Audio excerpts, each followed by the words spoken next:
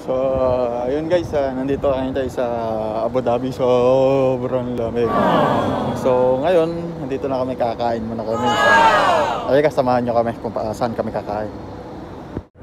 So, ayun guys, ayun yung hotel na pinag ano check-in na namin. So, dito naman kami kakain sa Nemat Kada New Restaurant. Alam niyo na. So, ayan, pasok tayo. So, yan yung mga kasama natin. Tayo natin pagkain natin. So, yan guys, yung mga kasama ko. Ang ganda nung ano rito, nung coach dito. Y- ang the secret to a clean kitchen is simple. Don't cook ever. Tama na yan. so, yan na guys, yung ano.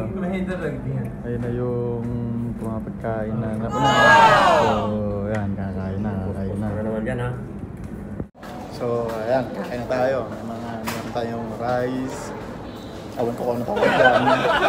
Siyempre, yung ating overload. So, try natin muna tong kain to. Try natin kung ano lasa. Diba? Sarap. so, ayun guys, kain muna tayo. Kaya, tikman natin. Tingnan natin tong rice nila.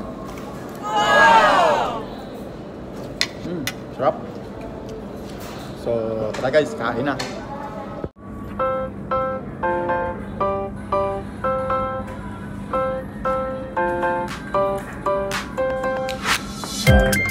So, yung guys, taob, taob talaga lahat.